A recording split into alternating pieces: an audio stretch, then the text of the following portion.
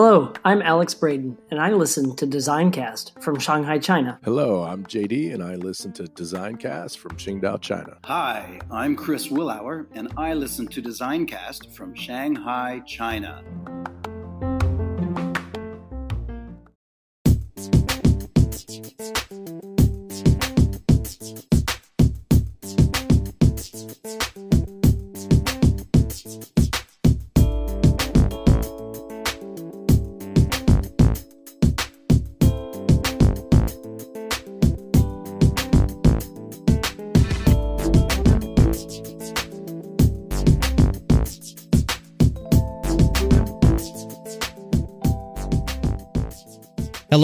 Welcome to Designcast, a podcast where I interview a wide range of excellent guests in design and STEAM education to get their unique perspectives.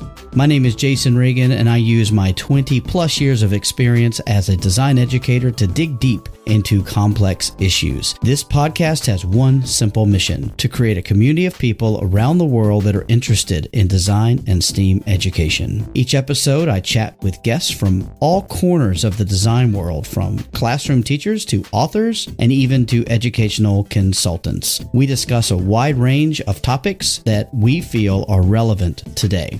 I do want to ask you that if you're enjoying this podcast, please leave a review, rate, subscribe, share, or download from your favorite podcasting app. This helps the podcast get discovered by listeners that might not find it otherwise. Also, it helps me to continually define the direction of future guests and episodes.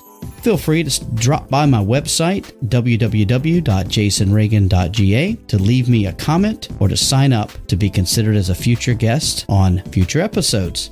Also, don't forget to stop by Anchor and leave me a voice clip that could even end up in an upcoming show. Thanks for listening, so let's get to it.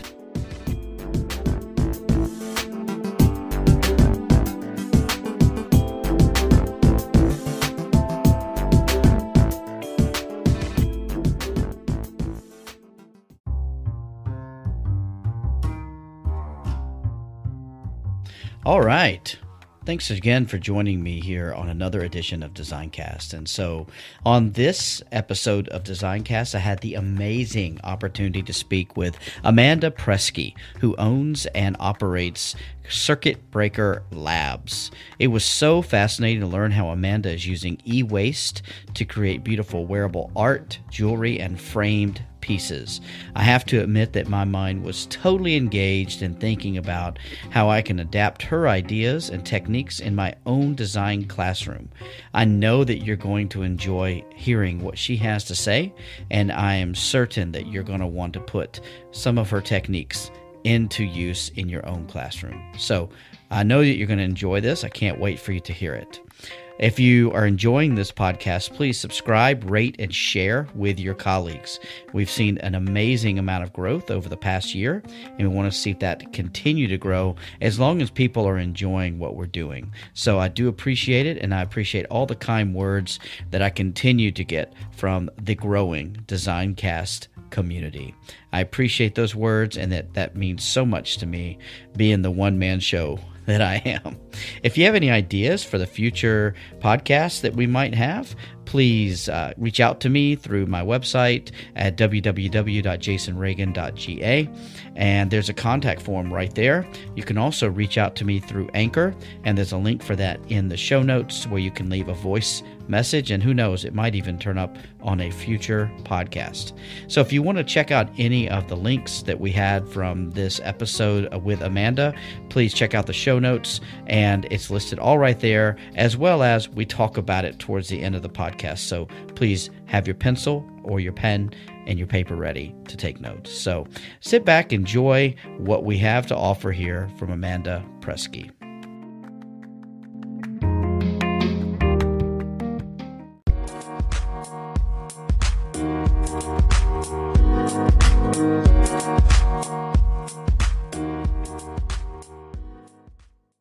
Welcome back to another edition of Designcast. And I am super excited today to have Amanda Preske with me today. And so, Amanda, how are you? Fantastic. Thanks for having me. I am really looking forward to hearing more about what you do. And so, if you don't mind, can you tell us a little bit about yourself and, yeah, just share with folks who are listening who you are? Hi, so my background is formally in chemistry, but I've been creative in making things since I was a kid, and I never grew out of it. So, all through my years in college, I had been working on a side project, making and selling my handmade jewelry.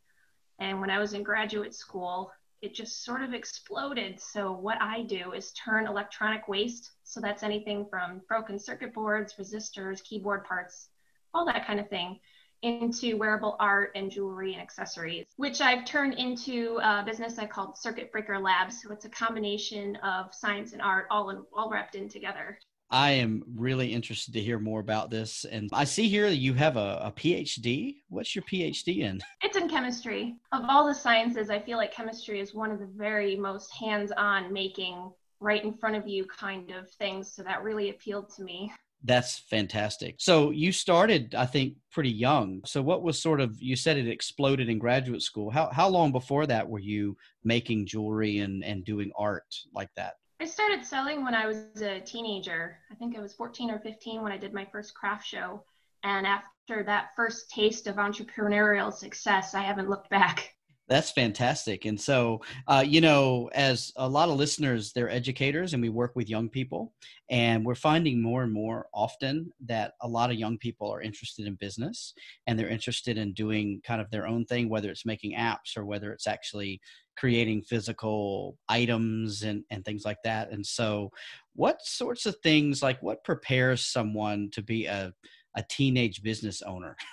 a really interesting question. And I must say, from my background, there wasn't any real source that propelled me in that direction. It was more self founded. Basically, I had made too much jewelry and I needed more money to buy more supplies. So the obvious solution was to sell it. And so I just wung it. I set stuff out. I learned about merchandising. I learned about pricing. I sort of learned all that stuff just by doing because in that time their internet wasn't so much of a resource yet so i found it easier to just try things and that was in my nature. That's probably why i also wound up in chemistry because i love setting up experiments and designing ways to test those. For the entrepreneurial side which of course i didn't realize as a kid it was really interesting and a lot of fun to see how making changes affected results so for kids nowadays, I think it's probably a lot more accessible. I think if kids are given the opportunity to set out with their idea and see what happens, providing them with resources like that could be really beneficial that's fantastic. Again, I have a, a, lot of folks who are listening who teach teenage age kids, and a lot of them have questions about how they can give back to their community or how they can start a business or, or those kinds of things. So I think it's great to hear that you just kind of had a had a go at it. Not being afraid to fail is incredibly important. So it sounds like you have that sort of mentality and so that's fantastic. And w- when did you decide that e waste and things that were needing to be recycled or reused was the direction you should head with your, your art? That whole metamorphosis began when I was an undergrad in, in college. I had just gotten into using resin as a creative medium and I found its versatility to be incredibly interesting. Um, I had set up tons of experiments. I was putting everything in resin, I was casting, I was using as a coating. I just wanted to see where I could push it. In the process, I realized that in the labs had they were just full of old equipment that nobody wanted to get rid of or didn't know how to. And I thought, well, this is kind of silly. Let's open it up and for science, see what's going on in there, see how it looks, see if there's anything in here I could use to create something. And so I found that I was really attracted to the way circuit boards look. My background being in chemistry, I don't know anything about how they really work. And of course, I've learned quite a bit since. From that standpoint, it was a very aesthetic approach. I thought it was really interesting, so I sought to put it under resin and see how it would turn out. And because I was setting up my work at craft shows, I had a direct line to people who were not afraid to tell me their opinion about it. And I discovered that despite what I thought, people really found it interesting. And even people who didn't know what circuit boards were could appreciate that it looked really interesting.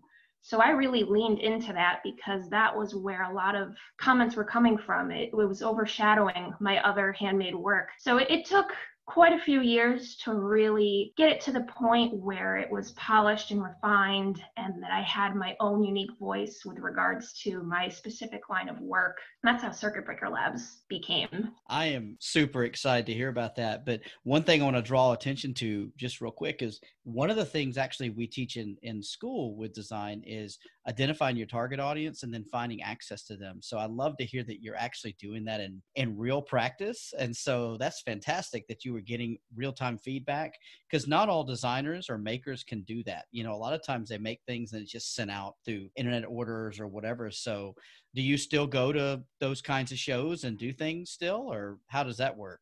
I absolutely do. And for that reason, that's one of the major reasons is immediate feedback. You can watch customers interact with what you've set out and they don't need to say anything to share their opinion. You can tell. And so I also think it's really important to talk directly with customers, especially as a maker. People want to know who's making the thing that they're looking to buy. And it's important that it's locally made or handmade. And so all of those values are very easily conveyed when I'm talking with my customers face to face. I have to say, your work is absolutely stunning. I, I mm-hmm. think it's fantastic. And if I will have everything in the show notes and how folks can see that. Can you tell me more about Circuit Breaker Labs and when did it start? You know, what kind of work do you guys do now? That kind of thing. I'll set the official inception date at 2007 that's when I really started to get into working with circuit boards. It probably took another couple of years before I really grew into it and expanded. I started off making cast resin pendants and moved to making cufflinks. What I've found is that circuit board, it appeals to a very wide audience and I find that a lot of men or masculine people are very attracted to the hard lines and details in the circuit board. So I've made a conscientious effort to design products for men. And that was another reason setting up at craft shows was really important because that gave me access to people who were actually going to be using these products and so they could help guide my design decisions. As I finished my PhD, we're going to fast forward to 2016. That's when I jumped into running Circuit Breaker Labs as a full time job career. And it was amazing how much brain space I had after graduating. So now I wasn't doing two jobs simultaneously. I could put 100% of my effort into Circuit Breaker Labs. And one of the fears I had making the switch to being full time was not having enough ideas. But what I didn't realize was having 100% of my brain available for the business meant that I had way more ideas. And I'm still, I wouldn't call it a struggle, but it was definitely something I didn't have to worry about and so now I'm finding my days are spent coming up with all sorts of new products. Also, really listening to my customers whenever they request custom items. I'm always excited and intrigued by what they ask me to make, having no idea what my limitations are. And so I take on every custom request as an opportunity to try something new. And so many of my new product designs and development have been a result of custom projects that just turned out so great. I wanted to find a way to incorporate them into my line. So, for example, the last couple of years, I've really leaned into creating framed art pieces and holiday decor. And so, what I'm finding is that even adding those has expanded my possibilities exponentially. Um, I really like creating layers and playing with color and shape. I have to say that looking at both of those things, the holiday items as well as the the framed pictures of of the different sh- states and the shapes and different things that you've done, is it's absolutely beautiful. I'm really interested in a couple of things. First off, do you have to use a certain kind of resin so that it will have an adhesive property to the material you're using, or what? How do you determine that? I know your chemistry, I'm sure, has helped a lot with how to bond those things together. But do you have to use different kinds of resin depending on what it is, or how does that work? What I find with the resin specifically is that it depends on what the end use of the product will be. So a lot of resins will have different degrees of brittleness. And so if you're trying to make a piece that's going to be flexible, those two things aren't going to cooperate with each other very well. You also have to consider what you're doing with the resin. So, are you using it as a coating or using it as a cast or a casted piece? And so, the types of resin you use for those are going to be very different. I've found out through experimentation that resins designed for coatings will not work to cast because the high volume in a small space will create an exothermic reaction, which is not something you want in your studio. so I don't have too much trouble with adhesion, but it's more about casting versus coating. I've seen a lot of videos online, like where folks are using resin to create tables out of different things and or pencils, and they spin it, and then they you know use a lathe to do different things. And so I wasn't sure if that was the kind of resin you were using, or you know that sort of thing. It's really high gloss and really really clear, isn't it? The kind of resin that you're using. Yes, it is. The type of resin I use is a marine based resin. So it's durable, but not so durable that it causes brittleness problems. And the clarity comes from years of chemical research. Resin formulations have come a long way in just in the last decade alone. And so I'm finding that there are much better options now for very clear and colorless resins. And the colorless part is very important since a lot of plastics tend to be UV reactive and will yellow over time. So I definitely am very careful about choosing materials so that over time the piece will still look as good as it was on the first day something that you would never know without just constant experimentation right? I mean it seems like that's been a, a theme throughout is trying things out and not being afraid to fail i guess is, is a safe situation of you know everything you try is just another practice round you know and then try to get things right and you never know till you try and so that's so that's just really so interesting to me and when you're talking about this e-waste how do you get these materials that you're then using? Are, are you buying just old computers orders or do people send you things? How does it work? A little bit of everything. I work with some corporate entities to supply e waste, especially in colors that are very rare, like orange and purple. I have an e cycling trade in program. So, any of my customers who have stuff laying around they want to get rid of, I can take it. Or at the very least, I can help them figure out what to do with it because I find that closing that loop is very important. The stuff should not be in landfills. It needs to be handled by a certified recycler. And every time I do craft shows, the more I do, the more people find out about it and they say, Oh, I've got all this stuff in my basement. So I'm a, a basement emptier. Um, and I find it's people love having a outlet for this stuff. They want to get rid of it. They just don't know how. So I feel like part of my role at Circuit Breaker Labs is also just helping people figure out what to do and how to handle it. This podcast is a proud member of the Teach Better Podcast Network. Better today, better tomorrow, and the podcast to get you there. You can find out more at teachbetter.com slash podcasts. Now let's get back to the episode. That's fantastic. I find that people do want to be sustainable, but they often just don't know how to be. I think it's great that you're doing that. I'm really stoked. And one of the things that's so interesting to me is how we can even scale this to even use in schools. So I want to hear more from you about that later. But what have been some of the challenges in starting your own business and going about making things for the public? What's, what's kind of been some of the challenging things for you?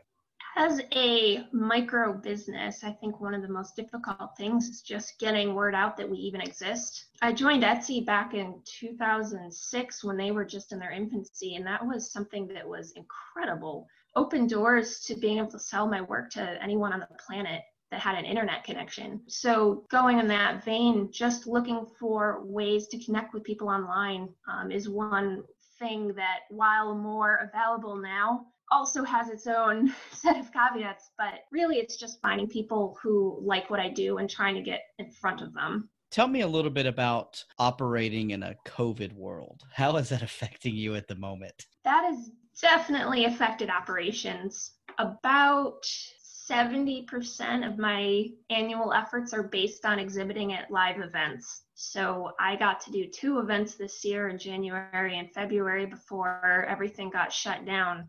So I really had to come up with new ways of reaching my customers and people who are interested in what I do. So I've done a lot more live videos, a lot more streaming. I've been on social media a lot more, and I've changed the way I share online. I've made an effort to reframe the way I talk about what I do, make it more open to discussion. I'm an extrovert and I am really missing interacting with people and talking about science and engineering and what I'm doing and e waste and all of those things that are related to what I do. And so I'm trying to reorganize how I interact with people through social media because that's the only way right now that I can communicate with people. Um, it also, of course, impacted revenue. So in March, I had to do a quick reorganization to figure out what we had, how we could meet current needs, and that ended up being masks. So I jumped on that wagon and made handmade face masks in typical circuit breaker labs fashion. They were all science based, science and engineering based. So that helped get some revenue flowing, help people who love STEM express that visually and meet the need for masks since there was a shortage. But what that also enabled me to do was have enough revenue that I could bring back my studio assistants every decision I make is about the people who work here. I'm always trying to do things that are in the best interest of them. And during COVID, I really wanted to make sure that they had a job. So I had to pivot quickly and make sure that I could take care of them too. Do you think being in a micro business allowed you to be nimble to pivot like that? Do you find that to be true? Definitely. I mean, I can go from idea to execution to online all within hours. The mask took a little bit longer because I had to dust off. I had to dust off my sewing machine and remember how it worked all over again. But once I was into it, I was popping out masks 18 hours a day but yeah, I know I noticed that even major retailers, it took them five or six months to really get masks out. They seem very slow. And so that's one thing I really love about being CEO and manufacturer and marketer is that I control every step of that process, which can also be a problem at the same time. But from the nimbleness perspective, it's definitely much better to be a micro business. Yeah, I know closing that loop as tightly as possible with that whole process you just talked about is incredibly important. And and one thing I meant to ask you earlier, I'm sorry to shift gears so quickly. Thank you so much for sharing what you have so far. But how are you manipulating the materials that you have? And what I mean by that is do you laser cut them? Do you cut them with a handsaw? Do you use acid? How do you how do you get these shapes out of these things that are not in that shape? Yeah, so when I first started, it was a Dremel tool with a metal cutoff wheel. And currently, I use a combination of drill press for cutting discs, and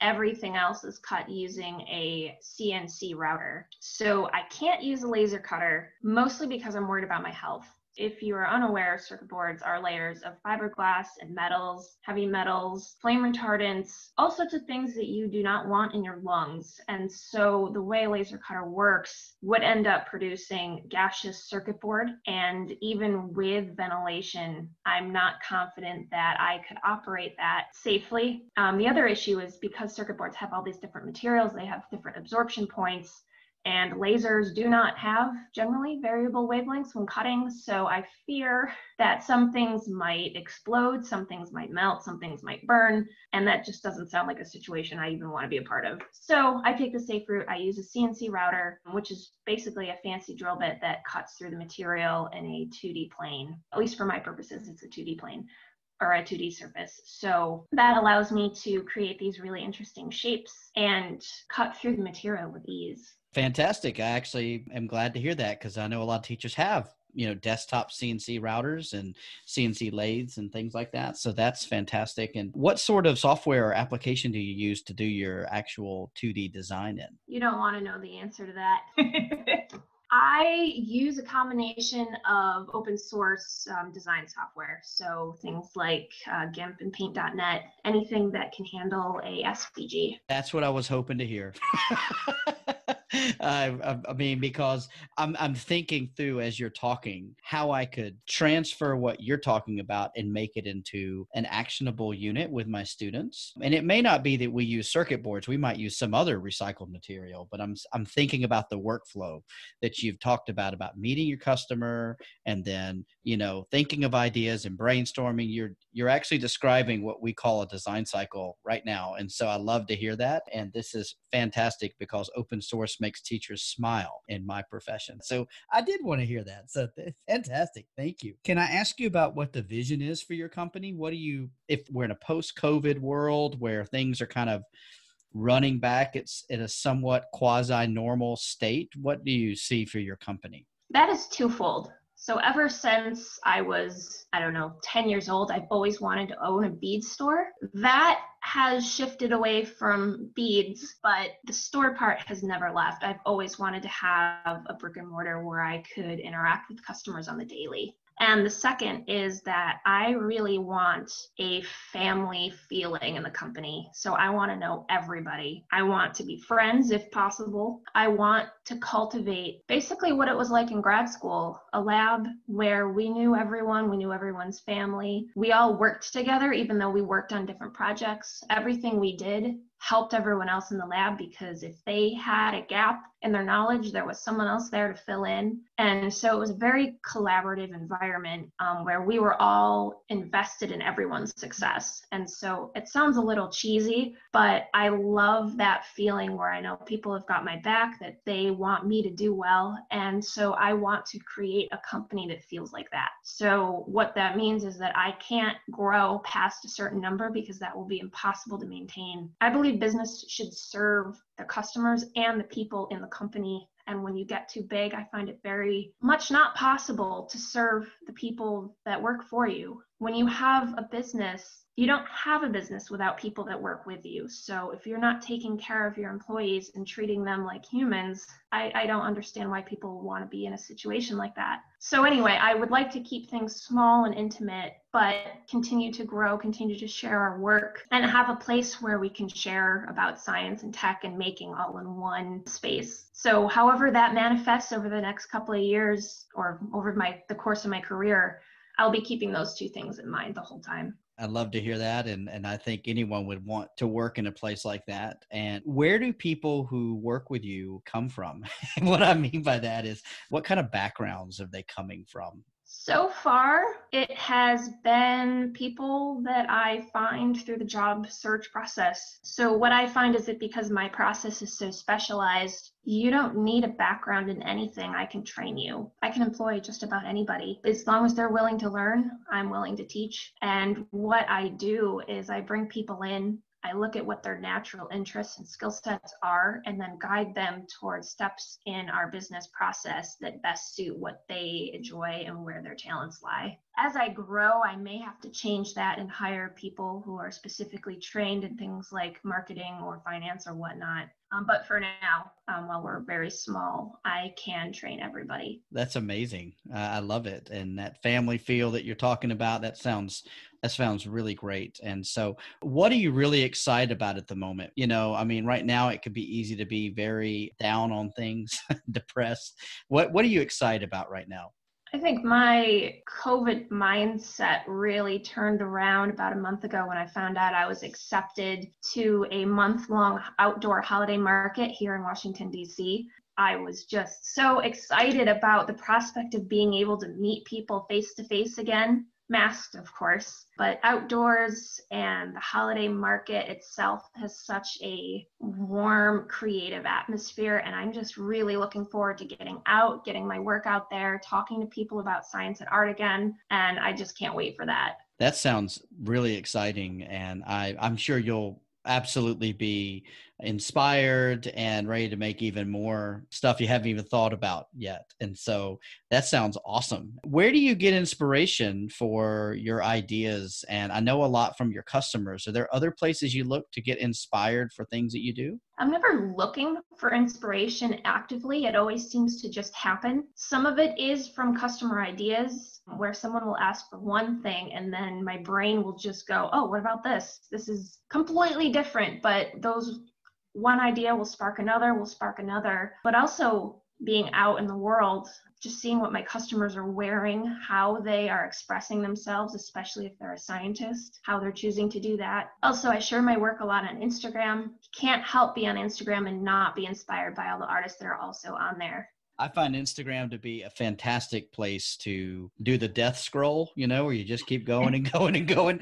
Uh, and it's it's fantastic because I'm interested in art and, and architecture and all kinds of things and drone photographs and things like that. And so, oh my gosh, I could go all day and just look at stuff people have created. I find it to be incredibly inspirational. And of course, I'm following you to see the things that you and your company are doing, which is great. If people want to get in touch with you and find out more about what you're doing, what's the best way to do that? The simplest way is to Google Circuit Breaker Labs. And that handle I use as my web domain, as Instagram and Facebook. And if you want to reach out directly, it's info at circuitbreakerlabs.com. I will make sure that all of that goes into the show notes so people can hear that. And I assume that on your website and other places, if they wanted to request or commission work, that's the way they can do it. Definitely. I have listings set up to make ordering custom work as simple as possible. But if you have something really outside the box, you just email me and I'm more than happy to walk you through my process. And I assume you have international shipping? Of course. Do you find that you have a lot of international customers or most folks domestic? It's very much domestic US based orders, but I do ship probably 10 to 15% end up being international. Well, let's hope after this that you'll get a few percentage points uh, international more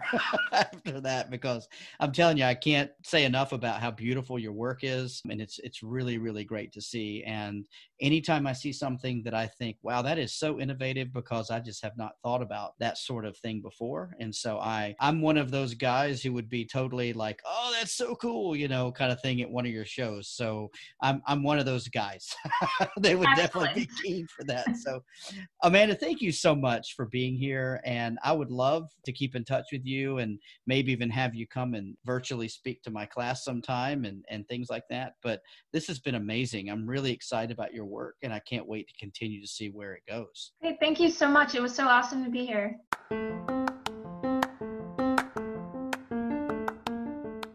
I hope you enjoyed that episode of Designcast. I'm Jason, your host, and I produced and created this podcast. If you have any input, I would love to hear from you, and I look forward to seeing you again really soon.